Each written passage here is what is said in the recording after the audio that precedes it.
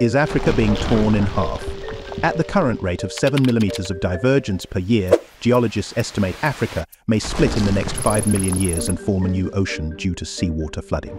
The East African Rift System began around 22 million years ago when the Nubian Plate and Somali Plate began drifting apart. That divergence began in the Miocene epoch and created two main branches, the Eastern or Gregory Rift and the Western or Albertine Rift. Mantle plume activity beneath the Afar region weakened the crust and caused volcanic flooding that built the higher ground of the Ethiopian and Kenyan plateaus.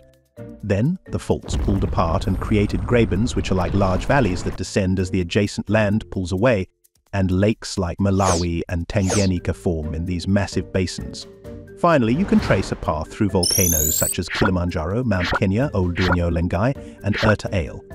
They formed along a thin axis of the spread mantle, and thus help us chart where the ocean will likely form through flooding.